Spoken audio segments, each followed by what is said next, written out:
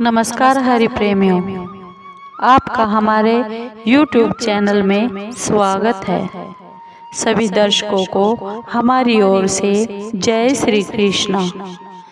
दोस्तों कैसे हैं आप? उम्मीद है आप सब अच्छे होंगे। आइए आज का प्रसंग शुरू करते हैं। आज का प्रसंग है शेर कैसे बना माँ दुर्गा का सवारी।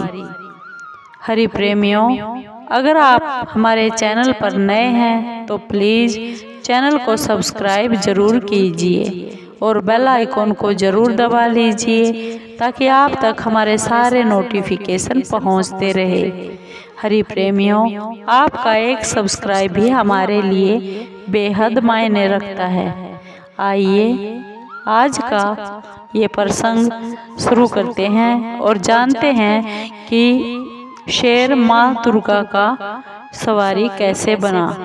दोस्तों माँ दुर्गा की सवारी शेर है।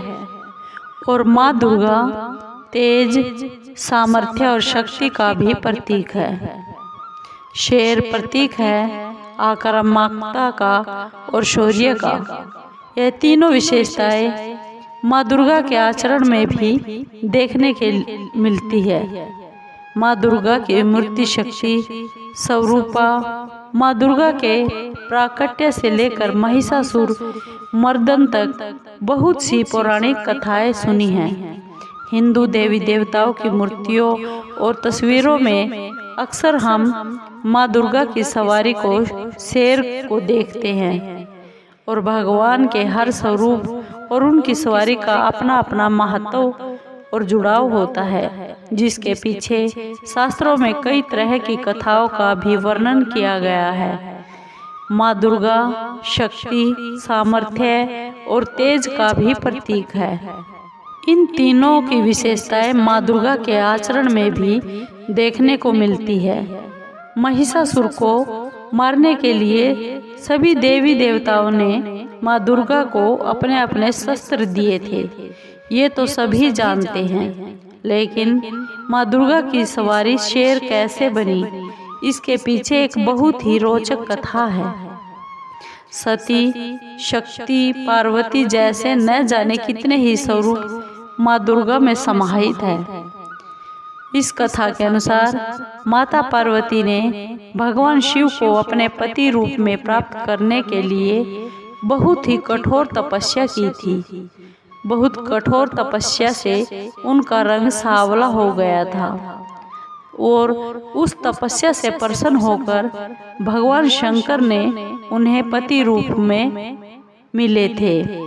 मान्यता के अनुसार एक दिन भगवान शिव माता पार्वती का उपहास उड़ाते हुए उन्हें सावली कहकर बोल दिया, माँ पार्वती को यह बात बहुत खराब लगी। और माँ पार्वती भगवान शिव से नाराज़ होकर एक बार फिर कठोर तपस्या शुरू कर दी। घन घोर जंगल में तपस्या के दौरान माता पार्वती के पास एक भूखा शेर आकर बैठ गया।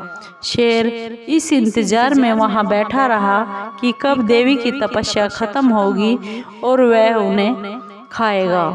इस तरह कई वर्ष बीत गए। माँ देवी तपस्या करती रही और शेर वहीं पर बैठा रहा। देवी पार्वती की तपस्या से खुश होकर भगवान शिव प्रकट हो गए और उन्हें गोरा होने का वरदान दे दिया।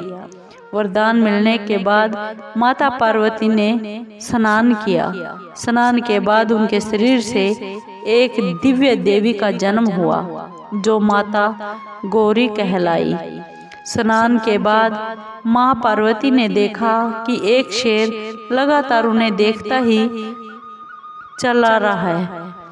देख रहा है, देवी को पता चला कि वह शेर उन्हें खाने के लिए बहुत सालों से उसका इंतज़ार कर रहा है। इस बात पर माँ देवी बहुत प्रसन्न हुई। उन्होंने कहा, जैसे मैंने इतने सालों तक तपस्या की है ठीक उसी तरह इस शेर ने भी मेरे इंतज़ार में तपस्या की है।